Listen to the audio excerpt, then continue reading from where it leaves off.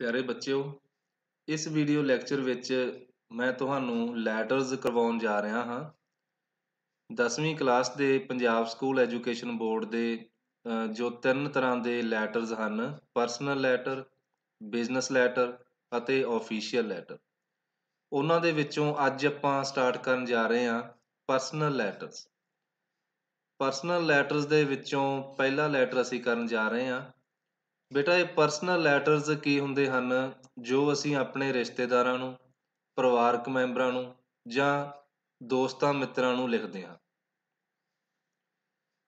First letter ਹੈ ਬੇਟਾ ਤੁਹਾਡੇ ਸਿਲੇਬਸ ਦੇ ਵਿੱਚ ਜੋ advising brother to improve his health ਆਪਣੇ ਭਰਾ ਨੂੰ ਸਲਾਹ ਦੇਣੀ ਹੈ ਕਿ ਉਹ ਆਪਣੀ ਸਿਹਤ ਨੂੰ ਸੁਧਾਰੇ।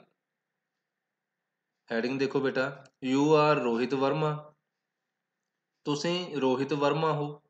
Living at 27 Gandhi Nagar Delhi.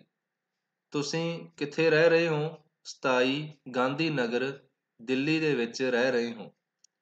Your younger brother is a bookworm ਤੁਹਾਡਾ ਛੋਟਾ ਭਰਾ ਇੱਕ ਬੁੱਕਵਰਮ ਹੈ। ਬੁੱਕਵਰਮ ਕੀ ਹੁੰਦਾ ਬੇਟਾ? ਕਿਤਾਬੀ ਕੀੜਾ। ਭਾਵ ਜੋ ਸਿਰਫ ਕਿਤਾਬਾਂ ਦੇ ਵਿੱਚ ਹੀ ਰੁੱਝਿਆ ਰਹਿੰਦਾ ਹੈ, ਪੜ੍ਹਦਾ ਹੀ ਰਹਿੰਦਾ ਹੈ। He is good at studies but weak in health ਉਹ ਸਿਹਤ ਪੱਖੋਂ ਕਮਜ਼ੋਰ ਹੈ, ਪਰ ਪੜ੍ਹਾਈ ਪੱਖੋਂ ਉਹ ਚੰਗਾ ਹੈ। ਪੜ੍ਹਾਈ ਵਿੱਚ ਚੰਗਾ ਹੈ, ਪਰ ਸਿਹਤ ਪੱਖੋਂ ਕੀ ਹੈ? ਕਮਜ਼ੋਰ ਹੈ। Write him a letter advising him to take part in games ਉਸ ਨੂੰ ਇੱਕ ਲੈਟਰ ਲਿਖਣਾ ਹੈ, ਸਲਾਹ ਦਿੰਦੇ ਹੋਏ ਕਿ ਉਹ ਗੇਮਾਂ ਦੇ ਵਿੱਚ ਵੀ ਭਾਗ ਲਿਆ ਕਰੇ। ਬੁੱਕ ਵਰਮ ਬੇਟਾ ਕਹਿ ਦਿੰਨੇ ਆ ਜੋ ਬੱਚਾ ਜਾਂ ਜੋ ਵਿਅਕਤੀ ਸਿਰਫ ਕਿਤਾਬਾਂ ਹੀ ਪੜ੍ਹਦਾ ਰਹੇ, ਹੋਰ ਕਿਸੇ ਗੱਲ ਦੇ ਵੱਲ ਧਿਆਨ ਨਾ ਦੇਵੇ, ਜਿਵੇਂ ਇਸ ਲੈਟਰ ਦੇ ਵਿੱਚ ਕੀ ਹੈ? ਰੋਹਿਤ ਵਰਮਾ ਆਪਣੇ ਛੋਟੇ ਭਰਾ ਨੂੰ ਇੱਕ ਲੈਟਰ ਲਿਖਣਗੇ ਕਿ ਉਹ ਆਪਣੀ ਸਿਹਤ ਦਾ ਵੀ ਧਿਆਨ ਦੇਵੇ, ਕੇਵਲ ਕਿਤਾਬਾਂ ਦੇ ਵਿੱਚ ਹੀ ਨਾ ਉਹ ਉਲਝਿਆ ਰਹੇ। ਸਟਾਰਟ ਕਰਨ ਲੱਗਿਆ ਬੇਟਾ। ਸਭ ਤੋਂ ਉੱਪਰ ਬੇਟਾ ਐਡਰੈਸ ਕਿਸ ਦਾ ਆਉਂਦਾ ਹੈ? ਆਪਣਾ ਐਡਰੈਸ ਆਉਂਦਾ ਹੈ ਸੈਂਡਰਸ ਐਡਰੈਸ ਭੇਜਣ ਵਾਲੇ ਦਾ ਐਡਰੈਸ ਲੈਟਰ ਲਿਖਣ ਵਾਲੇ ਦਾ ਐਡਰੈਸ ਪਰ ਉਸ ਦਾ ਨਾਮ ਉੱਪਰ ਨਹੀਂ ਆਉਂਦਾ। ਲੈਟਰ ਕੌਣ ਲਿਖ ਰਿਹਾ ਹੈ? ਰੋਹਿਤ ਵਰਮਾ। ਪਰ ਰੋਹਿਤ ਵਰਮਾ ਦਾ ਨਾਮ ਉੱਪਰ ਨਹੀਂ ਆਵੇਗਾ, ਕੇਵਲ ਐਡਰੈਸ ਆਵੇਗਾ। ਐਡਰੈਸ ਹੁਣ ਹੈਡਿੰਗ ਦੇ ਵਿੱਚ ਦਿੱਤਾ ਹੀ ਹੋਇਆ ਹੈ 27 ਗਾਂਧੀ ਨਗਰ ਦਿੱਲੀ। ਉਹੀ ਐਡਰੈਸ ਆਪਾਂ ਇੱਥੇ ਲਿਖ ਦਿੱਤਾ। ਮੰਨ ਲਓ ਬੇਟਾ, ਜੇਕਰ ਐਡਰੈਸ ਕੋਈ ਨਹੀਂ ਦਿੱਤਾ ਹੋਇਆ, ਤਾਂ ਤੁਸੀਂ ਆਪਣਾ ਐਡਰੈਸ ਆਪਣੇ ਕੋਲੋਂ ਕੁਝ ਮਰਜ਼ੀ ਲਿਖ ਸਕਦੇ ਹੋ। ਜਿਵੇਂ 27 ਪ੍ਰੀਤ ਨਗਰ ਮੋਗਾ। ਕੁਝ ਵੀ ਲਿਖ ਸਕਦੇ ਹੋ ਬੇਟਾ, ਜੇਕਰ ਐਡਰੈਸ ਹੈਡਿੰਗ ਦੇ ਵਿੱਚ ਨਹੀਂ ਦਿੱਤਾ ਹੋਇਆ। ਹੁਣ ਐਡਰੈਸ ਦਿੱਤਾ ਹੋਇਆ ਸੀ, ਆਪਾਂ ਲਿਖ ਲਿਆ 27 ਗਾਂਧੀ ਨਗਰ ਦਿੱਲੀ। ਉਸ ਤੋਂ ਬਾਅਦ ਬੇਟਾ, ਜੋ ਇਹ ਤੀਰ ਦਾ ਨਿਸ਼ਾਨ ਲਗਾਇਆ ਹੋਇਆ ਹੈ ਇਸ ਦਾ ਮਤਲਬ ਹੈ ਕਿ ਇੱਥੇ ਇੱਕ ਲਾਈਨ ਛੱਡਣੀ ਹੈ ਤੁਸੀਂ। ਤੀਰ ਦਾ ਨਿਸ਼ਾਨ ਨਹੀਂ ਬਣਾਉਣਾ, ਇਹ ਵੈਸੇ ਹੀ ਤੁਹਾਨੂੰ ਸਮਝਾਉਣ ਦੇ ਲਈ ਹੀ ਲਾਇਆ ਹੋਇਆ ਹੈ। ਤੁਸੀਂ ਇੱਥੇ ਇੱਕ ਲਾਈਨ ਛੱਡ ਦੇਣੀ ਹੈ, ਫਿਰ ਤੁਸੀਂ ਡੇਟ ਲਿਖਣੀ ਹੈ। ਡੇਟ ਬੇਟਾ ਕਿਹੜੀ ਲਿਖਣੀ ਹੈ? ਜੋ ਤੁਹਾਡੇ ਪੇਪਰ ਵਾਲੀ ਡੇਟ ਹੋਵੇਗੀ, ਜਿਸ ਦਿਨ ਤੁਸੀਂ ਲੈਟਰ ਲਿਖ ਰਹੇ ਹੋ, ਉਹੀ ਡੇਟ ਤੁਸੀਂ ਇੱਥੇ ਲਿਖੋਗੇ। 12 ਅਪ੍ਰੈਲ 2021 ਜਾਂ ਕੁਝ ਵੀ ਤੁਸੀਂ ਲਿਖਣ ਲੱਗੇ ਹੋ 2022 2020 ਕੁਝ ਵੀ ਲਿਖਣ ਲੱਗੇ ਹੋ ਡੇਟ ਇਸ ਤਰ੍ਹਾਂ ਲਿਖਣੀ ਹੈ। ਇੱਕ ਬੇਟਾ, ਕਈ ਬੱਚੇ ਕੀ ਕਰਦੇ ਆ ਡੇਟ ਇਸ ਤਰ੍ਹਾਂ ਡੈਸ਼ ਵਗੈਰਾ ਪਾ ਕੇ ਜਾਂ ਸਲੈਸ਼ ਪਾ ਕੇ ਲਿਖ ਦਿੰਦੇ ਹਨ, ਉਹ ਬਿਲਕੁਲ ਗਲਤ ਹੈ, ਉਸ ਤਰ੍ਹਾਂ ਨਹੀਂ ਲਿਖਣੀ। ਇਹ ਵੀ ਲਿਖ ਸਕਦੇ ਸੀ ਜਾਂ 12 ਦੇ ਨਾਲ th ਪਾ ਸਕਦੇ ਸੀ ਤੁਸੀਂ 12th April 2021 ਇਸ ਤਰ੍ਹਾਂ ਵੀ ਲਿਖ ਸਕਦੇ ਸੀ ਜਾਂ April 12th 2021 ਇਸ ਤਰ੍ਹਾਂ ਵੀ ਲਿਖੀ ਜਾ ਸਕਦੀ ਸੀ। ਪਰ ਡੈਸ਼ ਪਾ ਕੇ ਜਾਂ ਸਲੈਸ਼ ਪਾ ਕੇ ਡੇਟ ਨਹੀਂ ਲਿਖਣੀ। ਉਸ ਤੋਂ ਬਾਅਦ ਬੇਟਾ ਇੱਕ ਲਾਈਨ ਦਾ ਗੈਪ ਤੁਸੀਂ ਫੇਰ ਦਿਓਗੇ। ਫਿਰ ਜਿਸ ਨੂੰ ਲਿਖ ਰਹੇ ਆ ਲੈਟਰ ਉਸ ਦਾ ਨਾਮ ਲਿਖ ਦੇਵਾਂਗੇ। ਹੁਣ ਹੈਡਿੰਗ ਦੇ ਵਿੱਚ ਤਾਂ ਦੱਸਿਆ ਹੀ ਨਹੀਂ ਗਿਆ ਸੀ ਕਿ ਕਿਸ ਨੂੰ ਲੈਟਰ ਲਿਖ ਰਹੇ ਆ ਰੋਹਿਤ ਵਰਮਾ ਆਪਣੇ ਬ੍ਰਦਰ ਨੂੰ ਲਿਖ ਰਹੇ ਹਨ। ਬ੍ਰਦਰ ਦਾ ਨਾਮ ਨਹੀਂ ਦਿੱਤਾ ਗਿਆ, ਪਰ ਤੁਸੀਂ ਆਪਣੇ ਕੋਲੋਂ ਕੋਈ ਵੀ ਨਾਮ ਲਿਖ ਸਕਦੇ ਹੋ। ਜਿਵੇਂ ਕਿ ਲਿਖਿਆ ਗਿਆ ਡੀਅਰ ਕਪਿਲ। ਰੋਹਿਤ ਵਰਮਾ ਆਪਣੇ ਭਰਾ ਕਪਿਲ ਨੂੰ ਲੈਟਰ ਲਿਖ ਰਿਹਾ ਹੈ। ਬੇਟਾ, ਇਸ ਹੈਡਿੰਗ ਤੋਂ ਇਹ ਸਪਸ਼ਟ ਹੋ ਰਿਹਾ ਹੈ ਕਿ ਜੋ ਕਪਿਲ ਹੈ, ਉਹ ਬਾਹਰ ਕਿਤੇ ਹੋਸਟਲ ਵਗੈਰਾ ਵਿੱਚ ਰਹਿ ਰਿਹਾ ਹੈ। ਅਤੇ ਰੋਹਿਤ ਵਰਮਾ ਉਸ ਨੂੰ ਲੈਟਰ ਲਿਖ ਰਿਹਾ ਹੈ। ਯੂਅਰ ਕੀ ਲਿਖ ਰਿਹਾ Rohit Varma? Your friend Ashok met me a few days ago ਤੁਹਾਡਾ ਮਿੱਤਰ ਅਸ਼ੋਕ ਮੈਨੂੰ ਮਿਲਿਆ ਕੁਝ ਕੁ ਦਿਨ ਪਹਿਲਾਂ। ਇਸ ਤੋਂ ਬੇਟਾ ਇਹ ਸਪਸ਼ਟ ਹੁੰਦਾ ਹੈ ਕਿ ਅਸ਼ੋਕ ਅਤੇ ਕਪਿਲ ਇਕੱਠੇ ਰਹਿ ਰਹੇ ਹਨ ਹੋਸਟਲ ਦੇ ਵਿੱਚ। ਅਸ਼ੋਕ ਆਪਣੇ ਘਰ ਆਇਆ ਹੋਵੇਗਾ, ਜੋ ਕਿ ਹੈ ਕਪਿਲ ਦੇ ਬ੍ਰਦਰ ਰੋਹਿਤ ਵਰਮਾ ਨੂੰ ਮਿਲ ਗਿਆ। ਅਤੇ ਰੋਹਿਤ ਵਰਮਾ ਨੂੰ ਅਸ਼ੋਕ ਨੇ ਕੀ ਦੱਸਿਆ ਕਪਿਲ ਬਾਰੇ, ਉਹ ਅਸੀਂ ਅੱਗੇ ਪੜਾਂਗੇ ਕਿ ਰੋਹਿਤ ਵਰਮਾ ਕੀ ਕਹਿ ਰਹੇ ਹਨ? ਕਿ ਕਪਿਲ ਨੂੰ ਲਿਖ ਰਹੇ ਹਨ ਇਹ ਕਿ ਤੁਹਾਡਾ ਮਿੱਤਰ ਅਸ਼ੋਕ ਮੈਨੂੰ ਕੁਝ ਕੁ ਦਿਨ ਪਹਿਲਾਂ ਮਿਲਿਆ। He told me that you have become a bookworm ਉਸਨੇ ਮੈਨੂੰ ਦੱਸਿਆ ਕਿ ਤੁਸੀਂ ਬਣ ਚੁੱਕੇ ਹੋ ਇੱਕ ਕਿਤਾਬੀ ਕੀੜੇ। ਭਾਵ ਕਿਤਾਬਾਂ ਹੀ ਪੜ੍ਹਦੇ ਰਹਿੰਦੇ ਹੋ। You do not care at all about your health ਤੁਸੀਂ ਬਿਲਕੁਲ ਵੀ ਧਿਆਨ ਨਹੀਂ ਦਿੰਦੇ ਆਪਣੀ ਸਿਹਤ ਬਾਰੇ। ਐਟ ਆਲ ਹੁੰਦਾ ਬੇਟਾ, ਬਿਲਕੁਲ ਵੀ। You do not take part in games ਤੁਸੀਂ ਗੇਮਸ ਦੇ ਵਿੱਚ ਵੀ ਹਿੱਸਾ ਨਹੀਂ ਲੈਂਦੇ।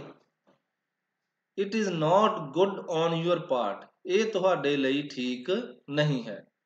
ਤੁਸੀਂ ਬੇਟਾ ਇਹ ਵੀ ਲਿਖ ਸਕਦੇ ਹੋ it is not good for you ਇਹ ਤੁਹਾਡੇ ਲਈ ਠੀਕ ਨਹੀਂ ਹੈ। Games are a part and parcel of education ਗੇਮਾਂ ਕੀ ਹੁੰਦੀਆਂ ਹਨ? ਸਿੱਖਿਆ ਦਾ ਇੱਕ ਹਿੱਸਾ ਹੀ ਹੁੰਦੀਆਂ ਹਨ। ਤੁਸੀਂ ਇੰਨਾ ਹੀ ਲਿਖ ਦਿਓ ਬੇਟਾ, ਕਾਫੀ ਹੈ। Games are a part of education games education ਦਾ ਹੀ ਇੱਕ ਭਾਗ ਹਨ। ਹੈਲਥ ਇਜ਼ ਵੈਲਥ ਸਿਹਤ ਹੀ ਧਨ ਹੈ। You can't have a sound mind without a sound body ਤੁਸੀਂ ਇੱਕ ਸਿਹਤਮੰਦ ਦਿਮਾਗ ਨਹੀਂ ਰੱਖ ਸਕਦੇ ਇੱਕ ਸਿਹਤਮੰਦ ਸਰੀਰ ਤੋਂ ਬਿਨਾ। ਇਸ ਲਈ ਤੁਹਾਨੂੰ ਗੇਮਸ ਦੇ ਵਿੱਚ ਹਿੱਸਾ ਲੈਣਾ ਚਾਹੀਦਾ ਹੈ। ਨੋ ਡਾਊਟ ਕੋਈ ਸ਼ੱਕ ਨਹੀਂ you are good at studies ਤੁਸੀਂ ਪੜ੍ਹਾਈ ਵਿੱਚ ਚੰਗੇ ਹੋ। But you have a very poor health ਪਰ ਤੁਹਾਡੀ ਸਿਹਤ ਬਹੁਤ ਹੀ ਮਾੜੀ ਹੈ। ਆਈ ਐਡਵਾਈਜ਼ ਯੂ ਮੈਂ ਤੁਹਾਨੂੰ ਸਲਾਹ ਦਿੰਦਾ ਹਾਂ to be careful about your health ਕਿ ਆਪਣੀ ਸਿਹਤ ਦੇ ਪ੍ਰਤੀ ਤੁਸੀਂ ਕੇਅਰਫੁਲ ਬਣੋ, ਸਿਹਤ ਦਾ ਧਿਆਨ ਦੇਵੋ। You should go out for a walk daily ਤੁਹਾਨੂੰ ਹਰ ਰੋਜ਼ ਸੈਰ ਕਰਨ ਜਾਣਾ ਚਾਹੀਦਾ ਹੈ।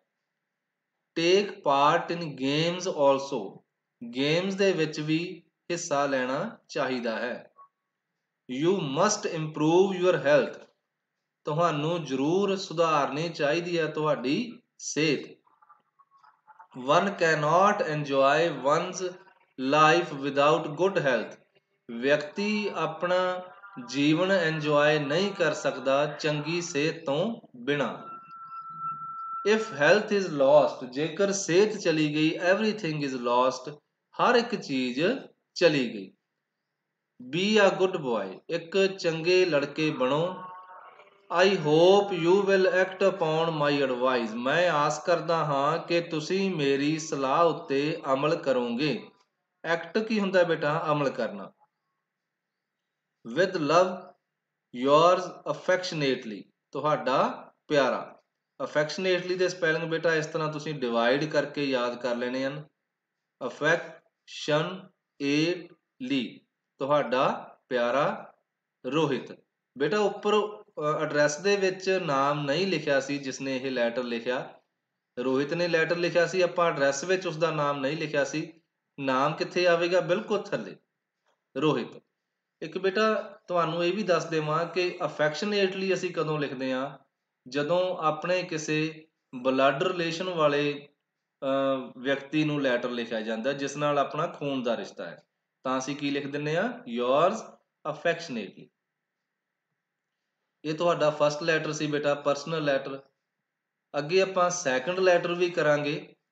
ਸੈਕੰਡ ਲੈਟਰ ਕੀ ਹੈ ਬੇਟਾ ਤੁਹਾਡਾ? Permission to join an educational tour ਆਗਿਆ ਲੈਣੀ ਹੈ ਜੁਆਇਨ ਕਰਨ ਦੀ ਇੱਕ ਵਿਦਿਅਕ ਟੂਰ ਮੰਨ ਲਓ ਤੁਸੀਂ ਕੌਣ ਹੋ? ਯੂ ਆਰ ਕ੍ਰਿਸ਼ਨ ਤੁਹਾਡਾ ਨਾਮ ਕ੍ਰਿਸ਼ਨ ਹੈ। Living at Nehru Memorial School Bathinda. ਤੁਸੀਂ ਕਿੱਥੇ ਰਹਿ ਰਹੇ ਹੋ? ਨਹਿਰੂ ਨਹਿਰੂ ਮੈਮੋਰੀਅਲ ਸਕੂਲ ਬਠਿੰਡਾ ਵਿਖੇ ਰਹਿ ਰਹੇ ਹੋ। ਇਸ ਦਾ ਮਤਲਬ ਕੀ ਹੈ ਬੇਟਾ? ਕ੍ਰਿਸ਼ਨ ਕਿੱਥੇ ਰਹਿ ਰਿਹਾ ਹੈ? ਕਿਸੇ ਸਕੂਲ ਦੇ ਹੋਸਟਲ ਵਿੱਚ ਰਹਿ ਰਿਹਾ ਹੈ। Write a letter to your mother ਇੱਕ ਲੈਟਰ ਲਿਖਣਾ ਹੈ ਤੁਹਾਡੀ ਮਦਰ ਨੂੰ। Requesting him to permit you ਉਹਨਾਂ ਨੂੰ ਬੇਨਤੀ ਕਰਨੀ ਹੈ ਕਿ ਤੁਹਾਨੂੰ ਆਗਿਆ ਦੇ ਦੇਣ। ਪਰਮਿਟ ਹੁੰਦਾ ਬੇਟਾ ਆਗਿਆ। To join an educational tour conducted by your school ਇੱਕ ਐਜੂਕੇਸ਼ਨਲ ਟੂਰ ਵਿਦਿਅਕ ਟੂਰ ਜੁਆਇਨ ਕਰਨ ਦੀ ਤੁਹਾਨੂੰ ਆਗਿਆ ਦੇ ਦੇਣ। ਜਿਸ ਦਾ ਪ੍ਰਬੰਧ ਕਿਸਨੇ ਕੀਤਾ ਹੈ? ਤੁਹਾਡੇ ਸਕੂਲ ਨੇ ਜਿਸ ਦਾ ਪ੍ਰਬੰਧ ਕੀਤਾ ਹੈ। ਉੱਪਰ ਐਡਰੈਸ ਬੇਟਾ ਕਿਸ ਦਾ ਆਵੇਗਾ? ਕ੍ਰਿਸ਼ਨ ਦਾ ਐਡਰੈਸ ਆਵੇਗਾ। ਐਡਰੈਸ ਉੱਪਰ ਦਿੱਤਾ ਹੋਇਆ ਹੈ। ਕਿੱਥੇ ਰਹਿ ਰਿਹਾ ਹੈ ਕ੍ਰਿਸ਼ਨ? ਨਹਿਰੂ ਮੈਮੋਰੀਅਲ ਸਕੂਲ ਬਠਿੰਡਾ ਵਿਖੇ ਰਹਿ ਰਿਹਾ ਹੈ। ਜਿਵੇਂ ਕਿ ਆਪਾਂ ਨੂੰ ਕਲੀਅਰ ਹੀ ਹੈ ਕਿ ਸਕੂਲ ਦੇ ਹੋਸਟਲ ਵਿੱਚ ਰਹਿ ਰਿਹਾ ਹੋਵੇਗਾ। ਤਾਂ ਉੱਪਰ ਕੀ ਲਿਖਾਂਗੇ ਅਸੀਂ? Boys hostel Nehru Memorial School, Bathinda. ਬੇਟਾ, ਜਦ ਵੀ ਕਿਸੇ ਚੀਜ਼ ਦਾ ਅਸੀਂ ਨਾਮ ਲਿਖਦੇ ਹਾਂ, ਕਿਸੇ ਐਡਰੈਸ ਦਾ ਫਸਟ ਲੈਟਰ ਕੈਪੀਟਲ ਆਏਗਾ। ਬॉयਜ਼ ਦੀ ਬੀ ਕੈਪੀਟਲ ਹੋਸਟਲ ਦੀ ਐਚ ਕੈਪੀਟਲ ਅੱਗੇ ਨਹਿਰੂ, ਮੈਮੋਰੀਅਲ, ਸਕੂਲ, ਇਹ ਬੇਟਾ ਜੋ ਅੰਡਰਲਾਈਨ ਕੀਤੇ ਹਨ ਲੈਟਰ ਕੀ ਆਉਣੇ ਹਨ ਇਹ? ਕੈਪੀਟਲ ਫਿਰ ਬੇਟਾ ਇੱਕ ਲਾਈਨ ਦਾ ਗੈਪ ਦੇਵਾਂਗੇ ਡੇਟ ਲਿਖਾਂਗੇ। 10th ਦਸੰਬਰ 2020 2021 ਕੋਈ ਵੀ ਲਿਖ ਸਕਦੇ ਹੋ ਤੁਸੀਂ, ਜੋ ਤੁਹਾਡੇ ਐਗਜ਼ਾਮ ਦੀ ਡੇਟ ਹੋਵੇਗੀ। ਅੱਗੇ ਆਪਣੀ ਮਦਰ ਨੂੰ ਲਿਖ ਰਿਹਾ ਹੈ, ਤਾਂ ਇੱਥੇ ਕੀ ਲਿਖਾਂਗੇ? ਮਾਈ ਡੀਅਰ ਮਦਰ ਇਸ ਤੋਂ ਬਾਅਦ ਬੇਟਾ ਕੋਈ ਗੈਪ ਨਹੀਂ ਅਸੀਂ ਛੱਡਣਾ। ਬੋਡੀ ਸਟਾਰਟ ਕਰ ਦੇਣੀ ਹੈ our school is breaking up for Christmas holidays. ਸਾਡਾ ਸਕੂਲ ਬੰਦ ਹੋ ਰਿਹਾ ਹੈ ਕ੍ਰਿਸਮਸ ਦੀਆਂ ਛੁੱਟੀਆਂ ਦੇ ਲਈ on the 24th of this month, ਇਸ ਮਹੀਨੇ ਦੀ 24 ਤਾਰੀਖ ਨੂੰ। ਬੇਟਾ, ਜਦ ਕੋਈ ਡੇਟ ਆਉਂਦੀ ਹੈ ਤਾਂ ਉਸ ਦੇ ਨਾਲ ਆਪਾਂ ਪ੍ਰੈਪੋਜੀਸ਼ਨ ਔਨ ਲਗਾਉਣੇ ਹਾਂ। Clear some students of our school are going on an educational tour ਕੁਝ ਵਿਦਿਆਰਥੀ ਸਾਡੇ ਸਕੂਲ ਦੇ ਇੱਕ ਵਿਦਿਅਕ ਟੂਰ ਉੱਤੇ ਜਾ ਰਹੇ ਹਨ The tour has been organized by our principal tour ਦਾ ਪ੍ਰਬੰਧ ਕੀਤਾ ਗਿਆ ਹੈ ਸਾਡੇ ਪ੍ਰਿੰਸੀਪਲ ਦੁਆਰਾ ਆਰਗੇਨਾਈਜ਼ਡ ਹੁੰਦਾ ਹੈ ਬੇਟਾ ਪ੍ਰਬੰਧ ਕਰਨਾ it will be will be ਬੇਟਾ ਹੋਵੇਗਾ ਇਹ ਹੋਵੇਗਾ ਅ 7 ਡੇ ਟੂਰ ਇੱਕ 7 ਦਿਨਾਂ ਦਾ tour from December 25 to December 31 25 ਦਸੰਬਰ ਤੋਂ 31 ਦਸੰਬਰ ਤੱਕ ਇਹ 7 ਦਿਨਾਂ ਦਾ ਟੂਰ ਹੋਵੇਗਾ।